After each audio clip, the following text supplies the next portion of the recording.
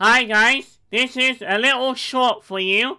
We just figured out in one of the episodes of Press Your Luck, Peter Tomarken does a stipe-like noise, doesn't he?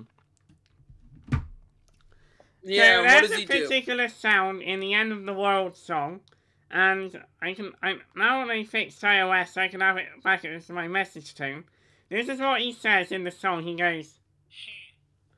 So we figured out that Peter Tomarken, the host of the 80s Press Look, very professional guy, he does a, a similar stipe-like noise in this bit, in this bit, doesn't he?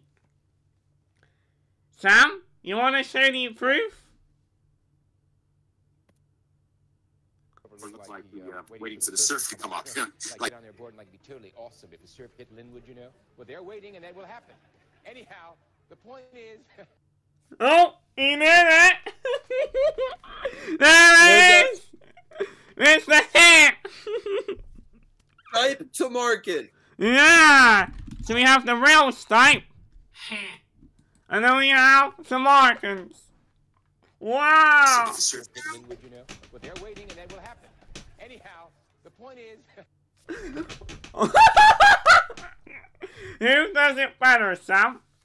Him or You Stipe? tell me. Well, the Stipe one is more like a ha, like a ha. And then we have some marker that's more like a laugh, like a huh. But yes, that's very similar, doesn't it? awesome if the surf hit Linwood, you know. But they're waiting, and that will happen.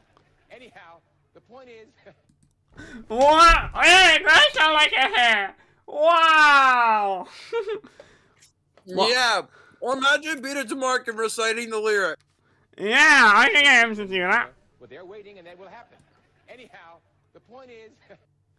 Okay, that was your little hair of the day.